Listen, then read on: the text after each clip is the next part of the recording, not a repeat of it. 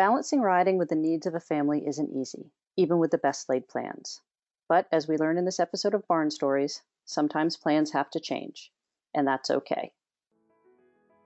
Welcome to the Barn Stories podcast. I'm Laurie Prinz, editor of Equus Magazine. And I'm managing editor Christine Barakat.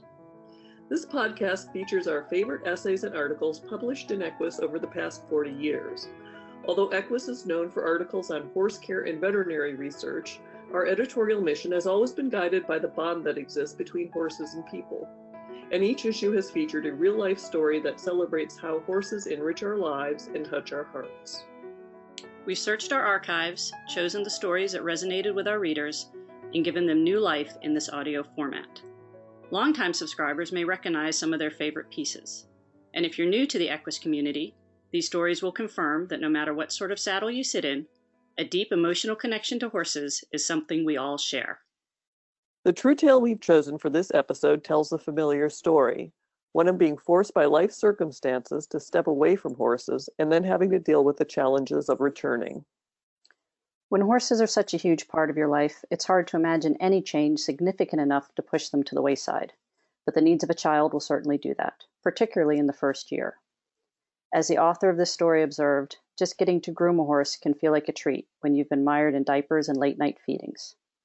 Ultimately, she gets back in the saddle, but under different conditions than she imagined. Something else the author touched on really stood out to me the strange mix of grief and guilty relief you can experience when you've lost an older horse who required a lot of resources. It's a complex emotion that is hard to describe, but this author articulates it powerfully particularly in the context of the other changes in her life. There's a lot to this story, so let's go ahead and listen to You Can Go Home Again, written by Mari Pazzinatti and read by Taylor Autumn.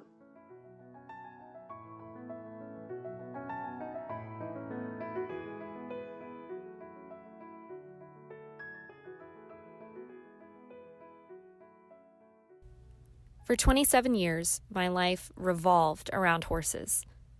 I went from a kid who raced home from school for a gallop in the woods to one of those lucky girls who brings her horse to college, to that career woman who slips out through the back stairwell in boots and breeches to meet the other night riders before the barn closes. I drive 45 minutes each way to ride for an hour after work and return home to flip omelets or toss salads at 10:30 at night. Horses were sacred. The barn was my temple Dressage lessons provided structure, long weekend trail rides, therapy. When Jenda, my childhood mare, grew too old to even amble through the woods, I retired her to a friend's farm an hour from my home. Undaunted, I kept up my four to five day a week schedule, sometimes waking up before dawn to go see my old friend, and then to ride a warm blood called Max, who was boarded at the same barn. When I got pregnant, I ordered maternity riding pants, assuming that Max and I could enjoy many more rides before my center of gravity went completely off kilter. I wore those breeches five times before rare and painful complications of pregnancy forced me to pack them away. I had a rotten pregnancy, followed by a surgery immediately after my C section, a long recovery, and a newborn son who needed surgery at four months. My hiatus from riding dragged ever longer. Then the stable became my son's first non medical outing. Three or four times per week, we made the trip to groom and coddle Jenda. Max now had a new exercise rider. My son would hang out in the bucket car seat and watch the proceedings. He rarely complained. I suppose he didn't know this pastime fell outside the normal infant purview of new moms groups and sing alongs at the library. When my son was about a year old and we were both finally healthy, it was time to say goodbye to my old mare. Jenda was pushing 33, sick with a stubborn and painful infection, and had no reasonable hope of recovery. I am grateful the decision was easy. I stroked her head and neck, my veterinarian pushed in the drugs, and my old friend slipped away. For a week, I moped in bed, as much as the mother of a one year old can manage. And I stopped riding. Because after grief came a foreign, unwelcome, almost shameful sort of relief. I was no longer devoting 20 to 30 hours per week to my hobby.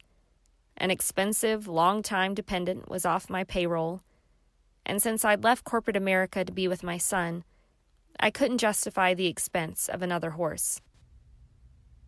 I missed the barn, especially when the autumn foliage peaked and the air turned crisp and dry. Aside from a few blips, a beach ride on a vacation, a field trip to try a horse a friend considered purchasing, I went cold turkey. Horses have been such a huge factor in my life that dabbling wasn't an option. Of course, I missed riding, but I couldn't imagine working the financial and time commitments into our family routine. Finally, when my son entered preschool as a four year old, I had an epiphany. I realized that I wanted to ride, but I didn't necessarily need to own a horse. I briefly shopped for dressage or eventing lessons, since those were the types of barns I'd frequented in my younger days. Nobody in reasonable driving distance had a suitable school horse, and I wasn't up for the commitment of even a partial lease. Undeterred, I put the word out that I'd be happy to exercise or hack a horse for someone once a week. Because as much as I miss the barn, I also crave the woods, the quiet, the simple adventure of seeing what was behind the next bend. Again, no takers within a doable commute. Finally, I was put in touch with Allegra Valberg of Ridgetop Farm, a barn in Holliston, Massachusetts, specializing in hunters and jumpers. I was skeptical. After a lifetime of riding a balanced seat, would I be comfortable tip forward, riding with my legs instead of my seat, and in short stirrups? I wasn't. I felt like a cake topper, perched awkwardly atop a cantering thoroughbred. But I was in nirvana at the barn. The first day I went, I would have gladly paid the instructor for the privilege of brushing the horse a bomb proof schoolmaster called Junior, and feeding him carrots. So I went back the following week. We negotiated the length of my stirrup leathers, and I relearned how to pop over cross rails. After a couple of months, I was paired with a seasoned hunter named Eno. Eno isn't the most popular horse in the barn, due to his penchant for biting people, his need to wear earplugs to face the outdoors, his outrageous personal space needs, and some other less than lovely quirks. But he's a handsome beast with a flashy white blaze, and he's athletic. At our first meeting, he attempted to take a pound of flesh out of my shoulder with his teeth. I was too fast for him. He tried to buck me off. I stayed on board. He reared and smacked his head on the ceiling. I abandoned my attempts to brush his face. But soon, Eno and I had developed a mutual respect that blossomed into something close to affection. He relaxed, I relaxed. I bribed him with treats. He began nickering hello when he heard my voice. After four weeks, he let me brush his face. I learned to pilot him around a full course, to measure distances, to hunt fences. And I am grateful Eno has a good home as he eases into his senior years. This helps me resist the temptation to offer to buy him. It's not a burning desire, anyhow, more like a twinge. Nostalgia for the days when owning a horse defined me.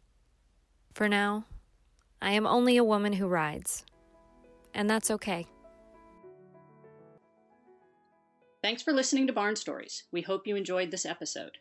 If you have a favorite article or essay from the Equus archives that you'd like us to feature in a future podcast, let us know.